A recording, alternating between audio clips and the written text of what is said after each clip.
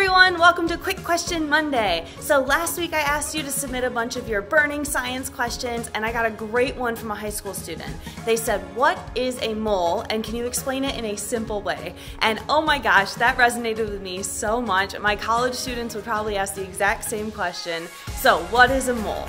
The mole is just a number or it's a way to reference a set of numbers. So for example, when we talk about a dozen, that means 12. A baker's dozen, 13. Century would be 100. Decade would be 10. A marathon is 26.2, right, miles. And then when you talk about a mole, we're saying it's 6.02 times 10 to the 23rd. It is a giant number. The best way I've ever heard it described is if you were given a mole of pennies on the day you were born, and then you threw away a million dollars every single second of your life. So, a million dollars every second of your life until you died on your 100th birthday, you would still have 99.99% of your money. That's how big a mole is. So, just like we use a clock to talk about time and use seconds as our unit, we use a mole to talk about atoms or molecules or particles or ions. Okay? So, what's a mole? It's just a number.